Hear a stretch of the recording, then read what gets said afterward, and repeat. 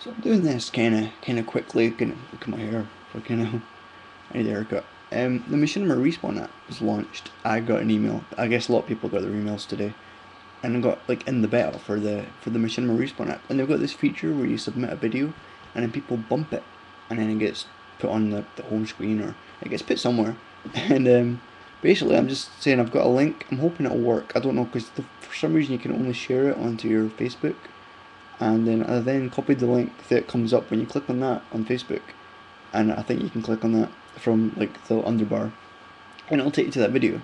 And what I'm kind of asking people to do is bump it, and maybe share it and comment it and try and get it views, if you know what I mean, on the Machinima Respawn app. If you're on the Machinima Respawn app, and if you're not, then I think if you click on that link, it'll ask you to sign up or whatever. I don't know. So um, hopefully that link will work, and if it doesn't work, then I apologise and I'll take the video down. But hopefully it will work. Or if not, just try and search for me. Search for Ultra Bandit, and I don't know if there's a way to find their videos or whatever. I've not really looked into it much, but I submitted the video.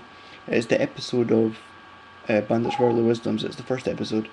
So um, if you if you bump that, and hopefully it'll get viewed by people, and hopefully people see it on the Machinima app, and either get me views, and hopefully someone maybe a little bit higher up can see it and stuff. So um, that'll be awesome. And thank you very much, guys, if you do.